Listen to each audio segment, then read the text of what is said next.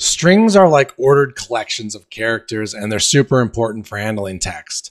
We're going to check out their cool features and how they work in the Elixir shell. So let's go ahead and open up our terminal, command space terminal, and then just go ahead and type IEx to get the Elixir shell up and running. So strings are essentially sequences of characters. So within quotations, if we say hello, comma, world, exclamation point, close those quotation marks, and then hit enter. That's a string for you. So Elixir strings are UTF-8 encoded, which means they can handle a huge variety of characters. So like we can do something like um, we can add an emoji within two quotations and it can handle that. It's a string. So Elixir is pretty neat with um, embedding expressions within strings. And so here's an example of string interpolation. Now, don't think about this too hard. I'm going to create a variable here um, called name. And a variable is basically a bucket that can hold a value. And we're going to get more into detail with this later, but I'm going to set this equal to a string called elixir, okay? And then I'm just hitting enter and it's stored in that. So if I type name here, it will return elixir. And so string interpolation allows us to basically pass in a variable, but have it um, part of a string. So inside double quotation marks, I can say hello comma, and then you just do a um, hashtag and then opening and closing curly braces. And inside those curly braces, you type in the variable name, which is name in our case. And then when we hit enter, it actually displays uh, the string value that was there. And that's called string interpolation.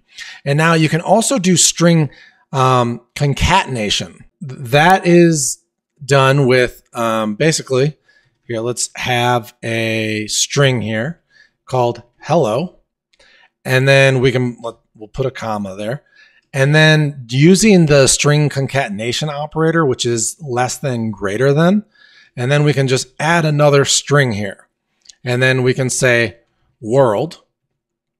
And when we hit enter, it will merge these two together. So there it goes. It merges them together and that's called string concatenation.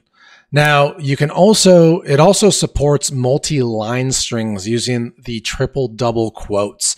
So if we do something like this, triple, like three quotes and then hit enter, say this is, and then we can hit enter again, a multi-line, enter string, and then enter, and then we can close it with three more quotes. And so this allows us to have a string span multiple lines without having uh, a bunch of different strings. And then you can hit enter and it puts it all together. And you'll see the basically the backslash n is an escape sequence for a new line. So that's why you see that there. So now the string module, which we get with Elixir, is loaded with a bunch of handy functions as well. So we can do things like string dot length and pass in a string, say hello, and it will return five because there are five letters in hello. So that is the length of the string.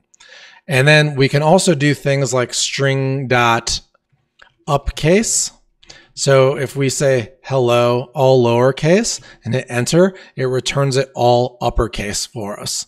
And then we can obviously, there's an opposite to that. We can do a downcase and we can pass in hello, all caps. And now it returns all lowercase. And then we can also do something called string trim. And then if we pass in a string, we're going to put a space at the beginning, hello, space at the end. And then when we hit enter here, it will return, it will remove the space at the beginning and the end.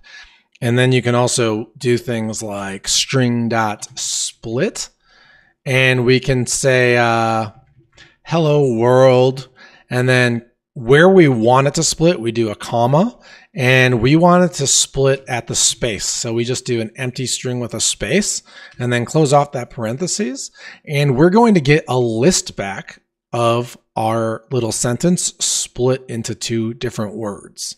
Hi, I'm Jacob. I help companies build scalable fault tolerant systems in Elixir. With over a decade of experience, I specialize in solving complex technical challenges, whether that's architecting new systems, implementing real time processing, or scaling existing applications. I work with teams worldwide to deliver high performance solutions that deliver results. If you need help with your next Elixir project, visit elixirmentor.com to schedule a call.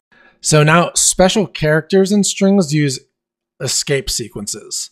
So a few examples is so the new line one, the escape sequence new line basically puts it down. So if I do io dot puts and then I say in quotations line one backslash n line two, uh, closing quotations and then close this off, hit enter, it returns to line one and line two on different lines.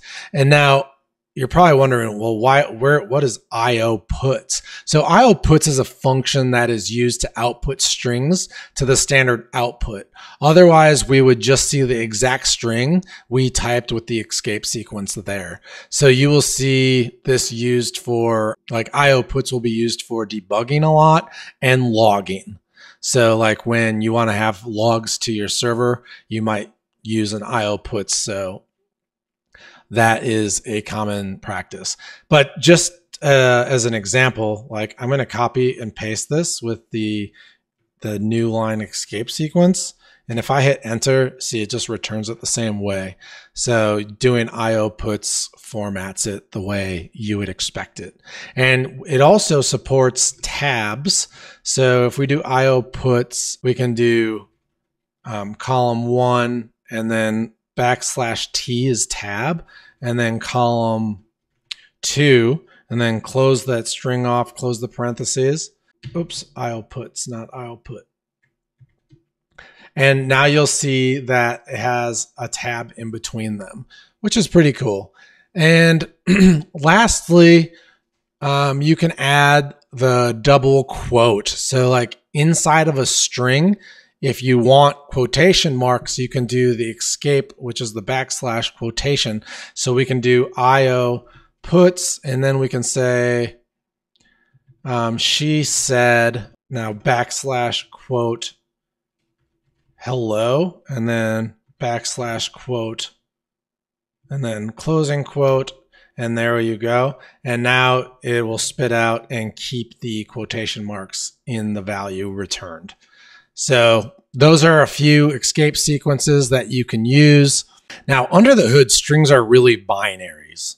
So if we do if we do um, hello as a string and then check to see if it's equal to 104 comma 101 comma 108 comma 108 comma 111 all right. And so that's the binary representation of hello.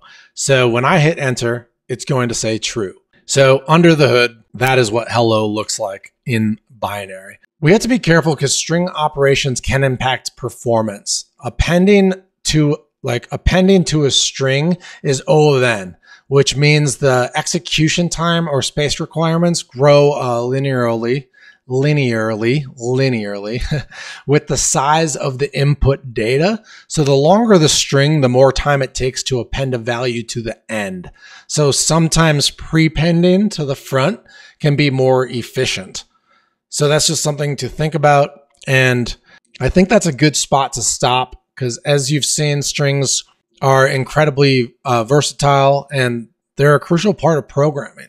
So experiment around, play around with the Elixir shell, and I'll see you in the next video.